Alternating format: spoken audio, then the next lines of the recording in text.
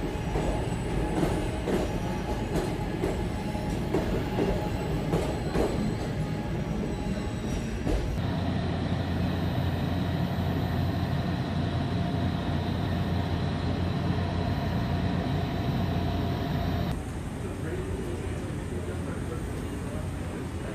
there any indication through social media or other tips to your department that somebody on the train filmed it? Is there any other footage circulating out there that you know of? I can tell you that people were holding their phone up in the direction of um, this woman being attacked. Is it safe to say from the video inside the train that people witnessed this happening and, and as you said, maybe didn't understand what they were seeing? I mean, what was the mood inside Yeah, the train? Yeah, and I, I don't know, I don't know what's running through the minds in, in folks' heads, but it concerns me enough to want to have a conversation with you folks, to get the message out that if people see behavior that is unusual and inappropriate on the trains, on the buses, in stations, we want to know about it.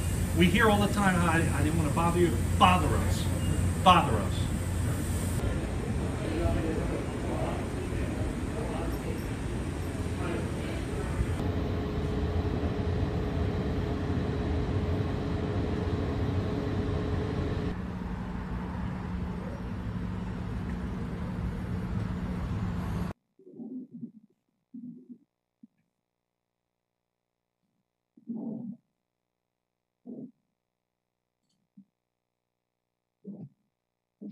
I was shocked and saddened, obviously, um, as a human being, as a sexual violence prevention researcher. Um, it is worrisome.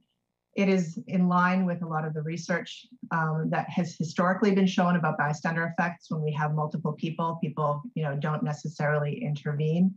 However, more recent research actually suggests that looking at video footage of more extreme circumstances, that up to 90% of cases, we do see people intervening. So it was actually somewhat of an aberration in this case that somebody did not step forward to help this, this individual.